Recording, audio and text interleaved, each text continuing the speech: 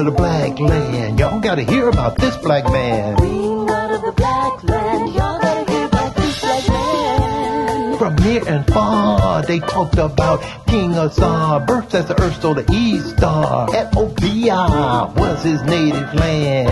Higher peace consciousness was his native plan. Although he traveled the earth to its limit, his home base was in the land called Kemet. His holistic living message was nurtured by she, his soulmate Aset. Phenomenally, the supreme she, the fertility goddess of the black land. Yeah, y'all gotta hear about this woman.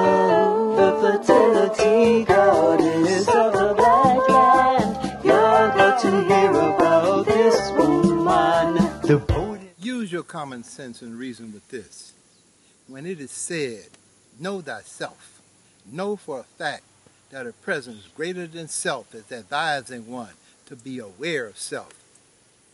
Beware of the nature of self. First and foremost, self is not the wholeness of one's being. It is not one's soulful essence.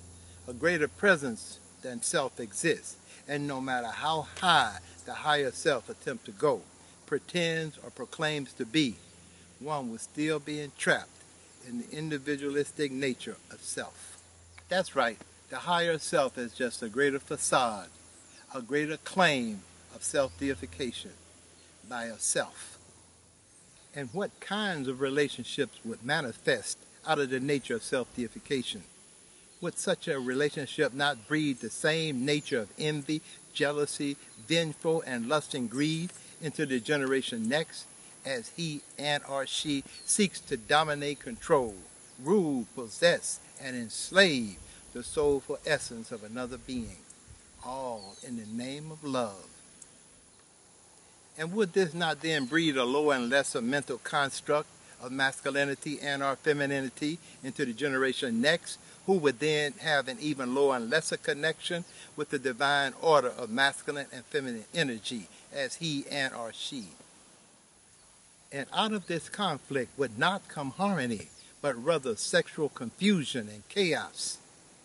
We ask you, is this not the nature of masculine and feminine relationships as they exist today? Checkmate. If you can reason this to be so, then let us continue. Know thyself. The spiritual war is all about the individualistic nature of self that functions out of sync, out of focus, and out of harmony with the holistic living consciousness that expresses the essence of life and supreme love. The individualistic nature was born outside of divine order, standing willfully opposed in rebellion against the duties, obligations, and responsibilities of divine social, economic, family, community order. Anyone who carries the encodes of that individualistic nature may appear cooperative and pleasant, but only so long as self-interest is being served, regardless of how the interests of self may adversely affect others.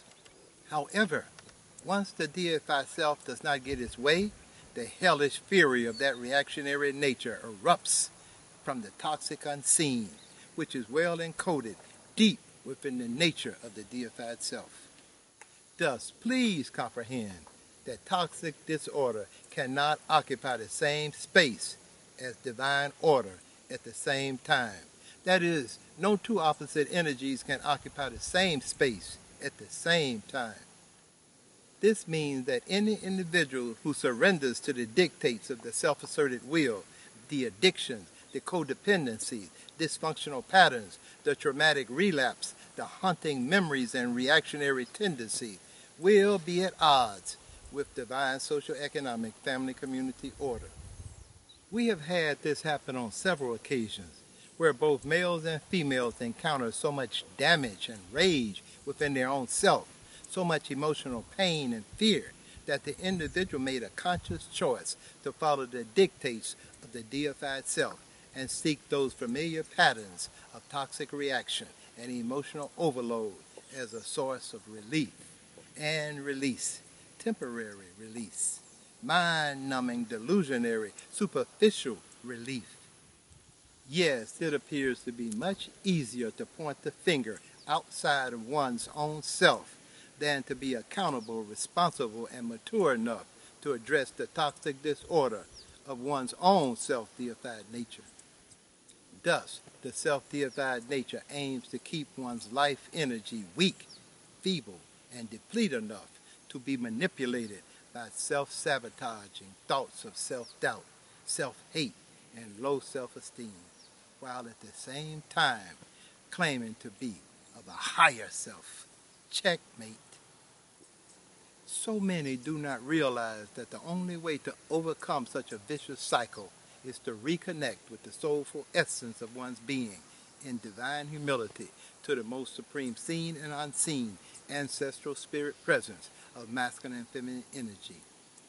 Remember, in the beginning, God said, let us make man, and that us had to include she, who had to be there to conceive he master plan.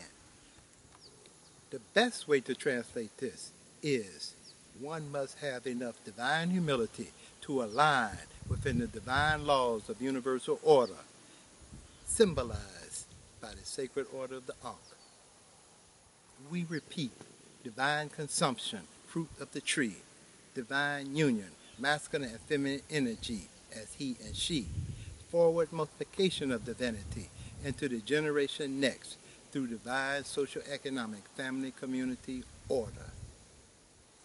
Take a few moments to allow common sense reasoning to remain at the forefront of one's consciousness. Every single time there is an exposure within the inner workings of any individual who approached the I and I and the sacred ancestral Naga priesthood, we have seen the hurt, the harm, the imbalances, the disruptions and corruptions of masculine and or feminine energy that produce severe instability and insecurity. These vulnerable and sensitive areas get triggered whenever an individual has his or her mental constructs of self challenged. And so, like it or not, believe it or not, this is the last stand in the resurrection of the sacred ancestral spirit presence of the children of the sun. And we better get it right this time or suffer the most fatal and agonizing consequences. We're not talking about those past tactics that arose as a result of the 1960s consciousness era, where mass drugs and massive violence suddenly flooded into various communities where populations were beginning to reconnect with a greater consciousness as solarized beings. Yes, across various color lines, there was a denouncement of that invasive and oppressive nature that installs inferiority and superiority complexes so as to justify divisive monotheistic syndromes of domination, control, and rule. We're talking about communities that were destabilized, where official strategies targeted specific populations to, quote, keep them in their place, a space and place of consciousness that breeds codependency and mental disorder. That's right, codependency and mental disorder, two of the primary strategies used to break one's connection to the soulful essence of one's being, to break the spirit of he or she, and cause one to be at the mercy of that oppressive energy that dominates, controls one's energies. That is the deified self please be aware that when we say this is the last stand and we better get it right this time or suffer the most fatal and agonizing consequences, we're talking about consequences even more destabilizing than the counterintelligence strategies of COINTELPRO and those unofficial strategies carried out to prevent the prophetic resurrection of a soul arising Messiah consciousness. We're not talking about the affirmative action era, where the concept of reverse discrimination was used to fuel even more division and a polarizing identification of us versus them.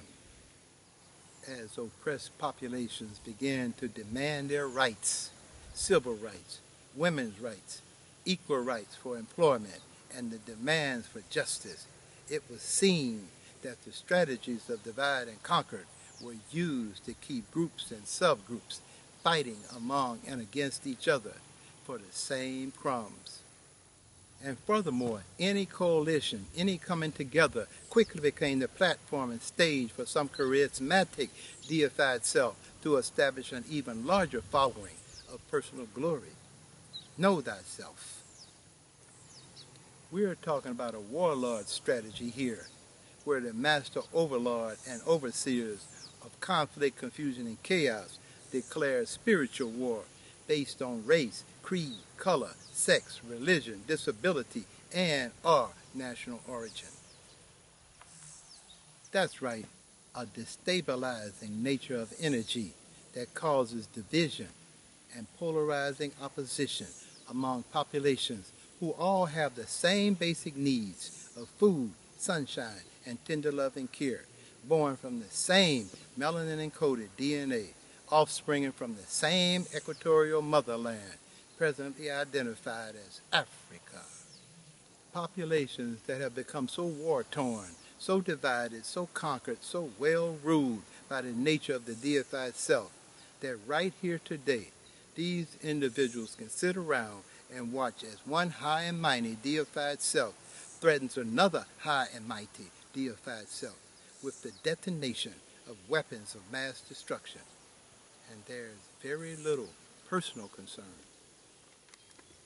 Modern day war and enslavement, terrorist attacks, massive sickness, disease, sexual violation, violence, war, and crime, seemingly one horror story after another, and the toxic nature of energy running the show is virtually ignored.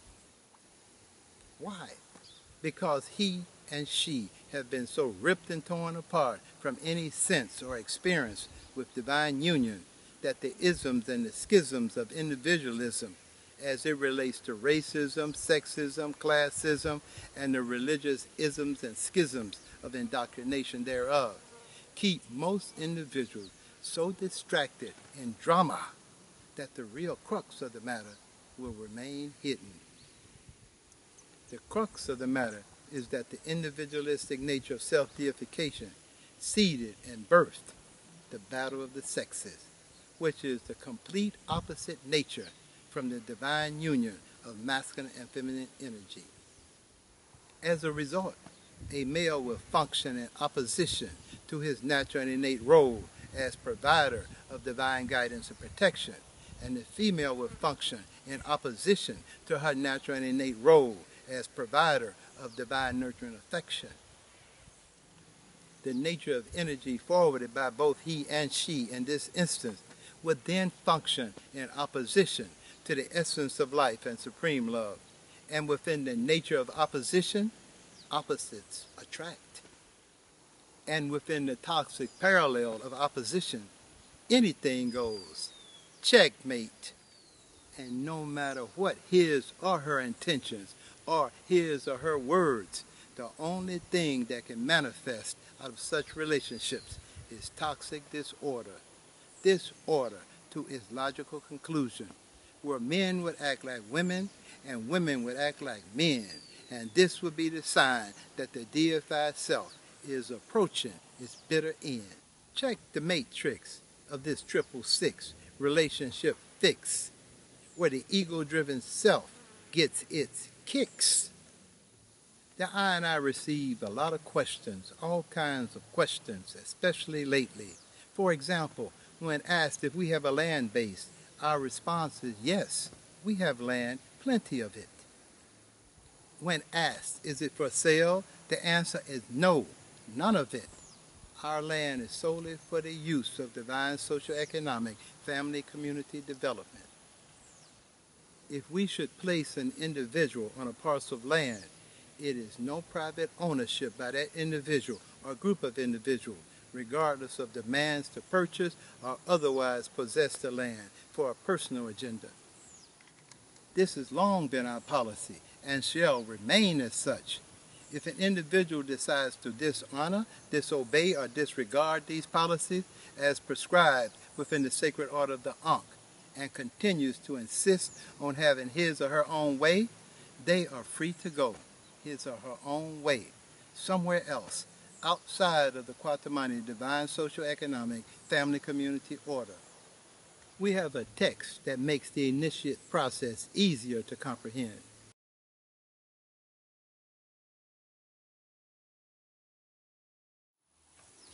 What we have come to realize is that the true nature of communal living is rejected within the mental constructs of the mass majority of man, he and she, who are under the domination and control of an individualistic consciousness. And the I and I will attempt to make this clear as we continue forward. All donations, offerings, and contributions are welcomed, appreciated, and are used to advance the development of the Kwatamani Divine Social Economic Family Community Order as a holistic living example of the Sacred Order of the Ankh in action. However, no monetary amount can guarantee an individual's rights of passage into the Kwatamani vibration. This can only be determined by the nature of one's attitudes, values, behaviors, and beliefs, and how such are carried out in thought, reasoning, and action. We repeat, any and all donations, gifts, and contributions are non-refundable and cannot be used to bribe, persuade, or pay one's way through the initiating phases of detoxing and purging and healing, which are the necessity for entering into the Kwatamani Divine Social Economic Family Community Order. We have come to realize that the chaotic nature of the individualistic environment is collapsing, and many are seeking an exit, even though they carry the nature of that same self centered individualistic nature deep within his or her consciousness. This is why we require that any initiate commits a detox, purging, and healing process immediately. We have found the nature of the deified self to be deceptive, misleading, tricky in its movements. We have also found that many who desire to make a move are curious about what that move will look like and what they will be able to bring with them from that toxic parallel. When curiosity gets sparked, individuals ask all kinds of questions, wanting to hear our view on all kinds of subjects that range from same-sex relationships, orgies, mate swapping, nudity as a community practice. Yes, we get questions about smoking marijuana and dietary patterns outside of 100% raw and living fruits, vegetables, seeds, and nuts, and much more.